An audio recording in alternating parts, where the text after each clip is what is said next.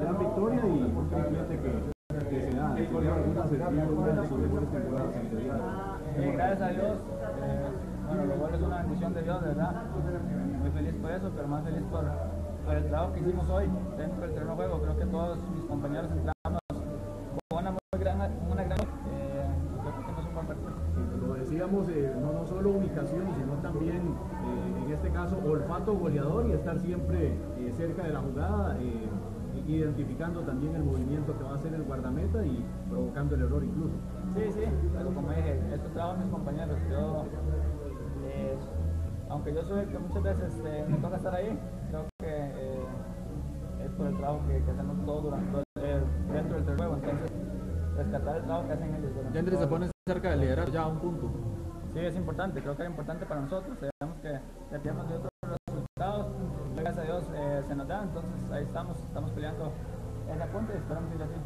El trabajo de Gerson Torres y, y William Quiroz, hoy notable, ¿verdad? Para, para ubicarse como, como centro delantero, dos hombres en las puntas, sentando bien, que es básico en estas llegadas. Sí, sí, creo que eso desde que Guare ha hecho muy bien las cosas, igual el caso de William, siempre han trabajado fuerte, nunca han bajado los brazos y cuando se da la oportunidad tratan de, de hacer las cosas bien. Hoy fue un día que, que ellos hicieron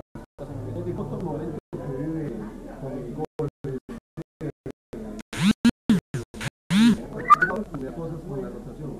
Verdad muy feliz, obviamente, cuando las cosas salen, salen bien, uno tiene que, que estar alegre, agradecido con Dios por eso. Creo que es premio al trabajo, al esfuerzo que se hace durante todo este tiempo, entonces eh, muy alegre, muy feliz, pero también con, con mucha tranquilidad porque yo sé que, que todavía no hemos conseguido nada, entonces esperamos en Dios eh, seguir haciendo las cosas bien. Yandri, duelo directo ante la liga el próximo sábado. Sí, el partido es súper importante para nosotros, esperamos en Dios hacer las cosas bien.